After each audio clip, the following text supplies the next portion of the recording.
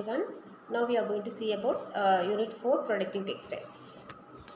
Introduction Protective textiles are referred to fabrics and materials designed to provide protections against various hazards. These textiles are often engineered to offer resistance to factors such as heat, chemicals, electricity, and physical absorption. So, examples include flame resistant clothing, bulletproof vest, and garments designed for protection against extreme weather conditions.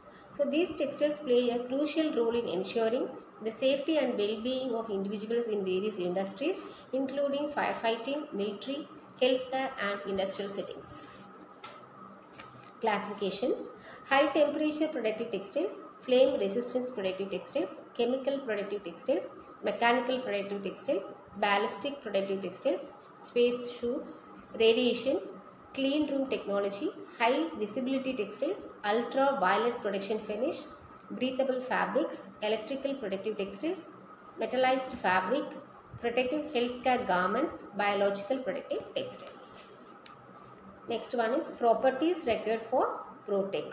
So these are the following properties which is required to manufacture the ProTech textiles. First one, lightweight and low bulk, high durability and dimensional stability, good handle and drape, low noise emission, water repellent, windproof and snow shedding, thermal insulation, UV resistant, air permeable, flame retardant, heat and melt resistance and low smoke emission, safety from radar spectrum. Then lightweight and good handle and drape features, high durability, water and wind resistance, resistance to bacteria and microorganisms, thermal insulation, ultraviolet resistant, air permeability, resistance to fire and flame, bulletproof, resistance to chemicals, then provide protection from radar spectrum. So NCB shoots, short for nuclear, biological and chemical shoots offer military and personal protections. They shield against contact with radioactive, biological or chemical substance providing dense from contamination based on the type of thread. Next one is mosquito repellent textiles like nets and curtains act as a barrier against mosquito bites.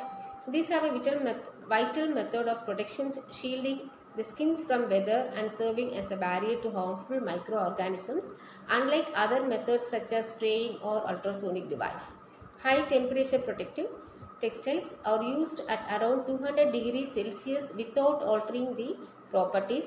Choosing the right fiber involves considering the application type, temperature range, environmental conditions and may special requirements like examinations or covers. Radiation protective textiles shield the body from exposure to ra radioactive substance in environment like cancer treatment centers and nuclear plants, often worn by professional staffs. UV protective textiles Clothing safeguard the skin from the sun's harmful effect, crucial in preventing skin cancer. This protection is important for children clothing, sportswear and workwear. The effectiveness depends on the fiber, fabric construction and dyeing finishing agents used. Waterproof breathable textiles or lightweight fabric with coating like polyvinyl chloride and polyurethane are popular for cold weather clothing offering protections against rain.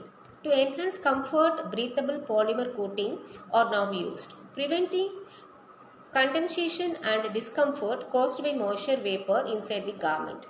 High visibility textiles are brightly colored or reflective fabrics used for safety, often worn by road workers, traffic police and professionals for easy visibility in any environment.